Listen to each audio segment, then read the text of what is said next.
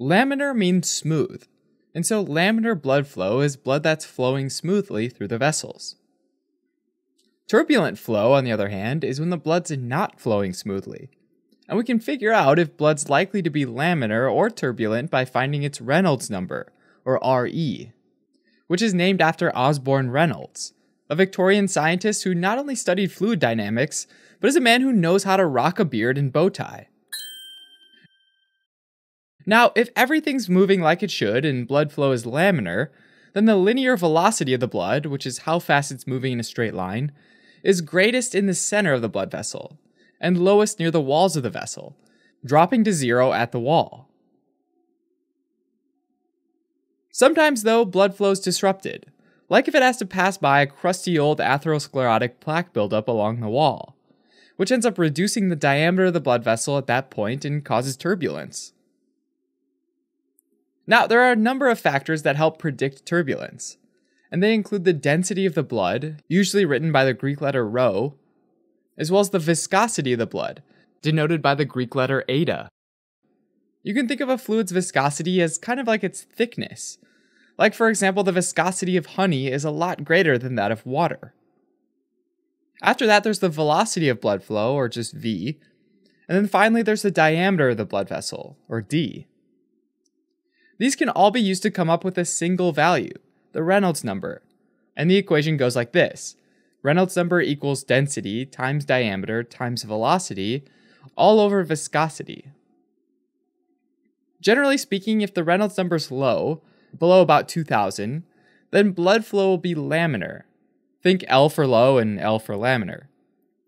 But if the Reynolds number is above 3000, it'll likely be turbulent. A Reynolds number between 2000 and 3000 is somewhere in between.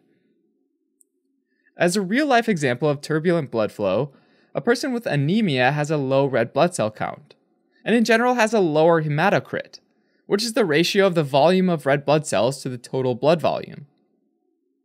This essentially means that the blood's less thick, or viscous. Based on the equation, if viscosity decreases, that means Reynolds number increases. Also, these individuals often have an increased cardiac output which means increased blood velocity and therefore increased Reynolds number. Now, another example would be a person with a thrombus, or a blood clot, which, just like atherosclerotic plaque, would narrow or decrease the diameter of a blood vessel. Now, at first glance, this seems a little weird, huh? Since it looks like a decrease in diameter should probably decrease Reynolds number. But it turns out that the blood velocity also depends on the diameter of the vessel, by the equation velocity equals flow rate q over area, where the area is the area of a circle, which is pi times d over 2 squared. And this comes out to be 4q over pi d squared. Taking that guy and plugging it in for velocity, we now see that as the diameter decreases, Reynolds number increases. Now, a related concept is shear rate. And remember that blood velocity depends on whether it's in the middle, which is where it's the fastest, or it's near the walls, where it's the slowest. In fact, at the molecular level, just outside the walls, water molecules are just sort of sitting still and not moving.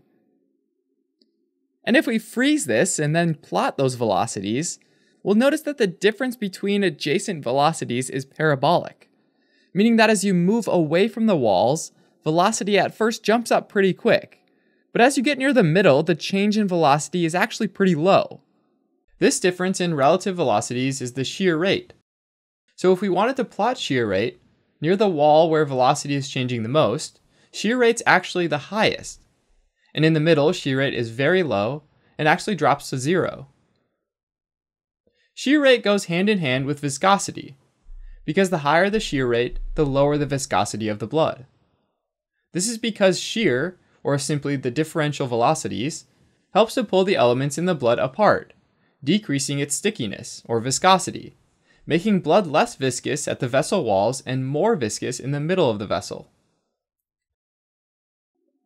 Now let's say that all that blood's somehow moving at the same velocity. Well, in that case, if you plot it out, there's no change in velocity across the blood vessel, and that makes plotting shear rates pretty easy. Since there's no change in velocity, there's no shear rate.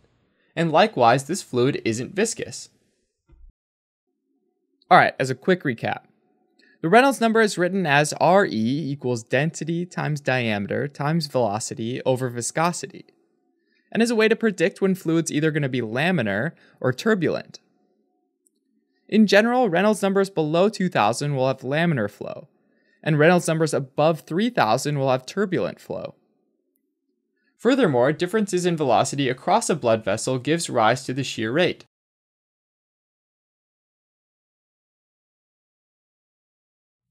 helping current and future clinicians focus, learn, retain, and thrive.